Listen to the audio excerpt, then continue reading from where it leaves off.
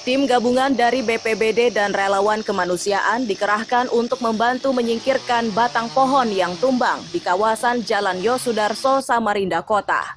Dahan pohon yang tumbang menimpa salah satu rumah warga.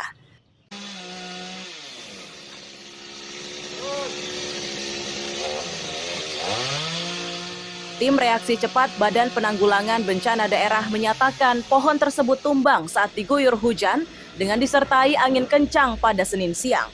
Tercatat jumlah pohon yang tumbang sebanyak dua pohon, namun petugas harus menyingkirkan empat pohon agar tidak lagi terjadi pohon tumbang.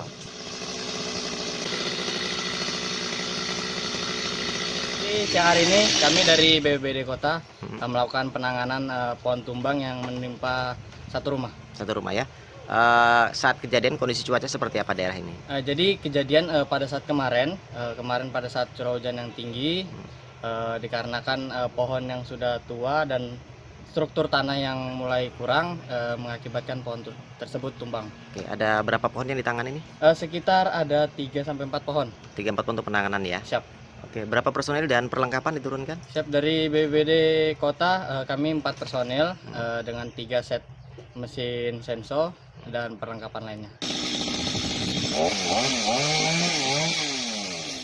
Pemilik rumah menyatakan pohon tersebut sudah lama miring. Saat kejadian, sebuah truk yang kebetulan parkir menahan pohon tersebut dan meminta para penghuni rumah segera keluar.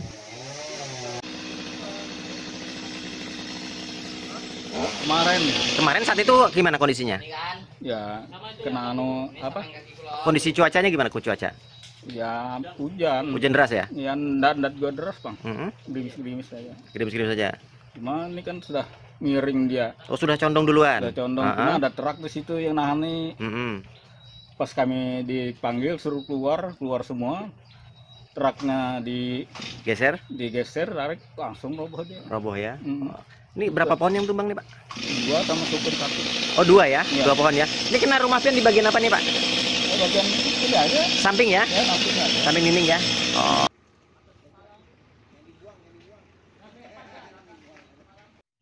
Tim reaksi cepat BPBD Samarinda mengimbau warga agar lebih waspada, mengingat cuaca dalam beberapa hari terakhir kerap diliputi hujan dengan disertai angin. Iswanto melaporkan dari Samarinda.